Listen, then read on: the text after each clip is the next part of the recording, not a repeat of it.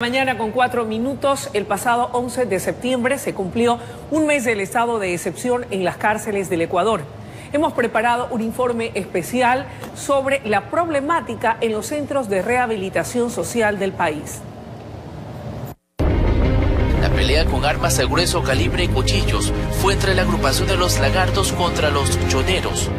Conflictos que parecen no tener un alto al interior de las cárceles, hechos violentos donde salen a relucir armas cuya presencia está prohibida dentro de los centros de rehabilitación social del país.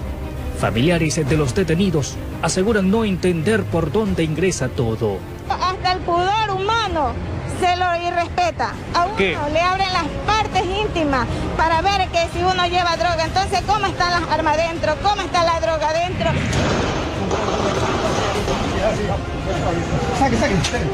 Tras la revuelta del pasado 3 de agosto, se ejecutaron operativos encaminados a decomisar el armamento que se esconde al interior.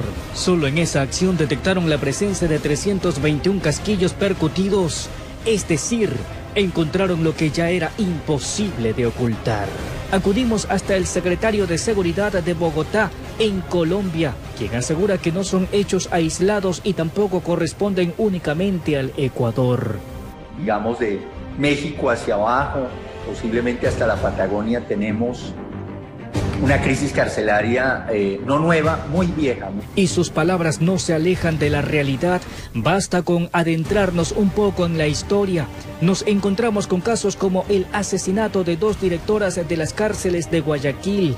Uno de los hechos se presentó en abril del año 2007, cuando Soledad Rodríguez llegaba hasta su domicilio. El segundo suceso se registró en marzo del 2018. Esta vez a Gaby Moreno no la dejaron llegar tan lejos y la asesinaron a los pocos minutos de salir de la penitenciaría del litoral. Los crímenes continuaron, esta vez se tomaron a guías y personal de seguridad interna.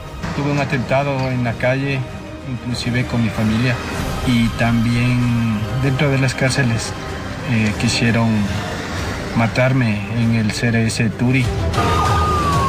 Uno de los actos más escalofriantes que registran los archivos es el asesinato de alias El Cubano, ocurrida en junio del 2019.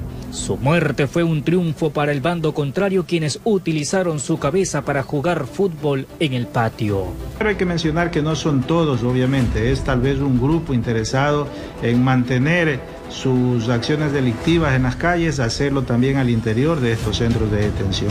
En nuestra próxima entrega conoceremos las acciones que se han tomado hasta el momento y qué falta por hacer con la finalidad de poner freno a la violencia en estos espacios cuyo objetivo es rehabilitar al detenido.